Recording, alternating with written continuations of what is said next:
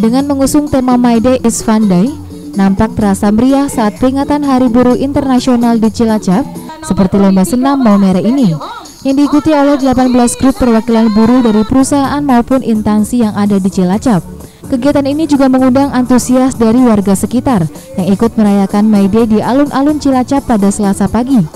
Pada tahun ini, peringatan May Day berbeda dari tahun sebelumnya. Berbagai kegiatan positif diselenggarakan berkat kerjasama pemerintah dengan berbagai perusahaan yang ada di Cilacap.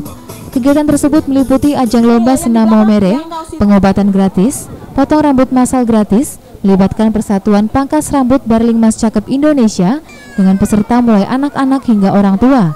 Selain itu, kegiatan lainnya berupa donor darah dan pemeriksaan HIV/AIDS dan pelayanan pap smear dengan melibatkan beberapa rumah sakit yang ada di Cilacap. Seluruh kegiatan ini diadakan untuk menciptakan peringatan Hari Buruh yang penuh manfaat. Nah, kegiatan Maida ini adalah kegiatan kebersamaan, yaitu kita membuat bahwa Maida ini merupakan hari buruh, kita happy-happy, kita pertemanan, kita mengadakan aksi sosial.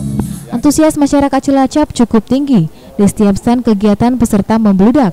Mereka berharap kegiatan ini terus ditingkatkan setiap tahunnya.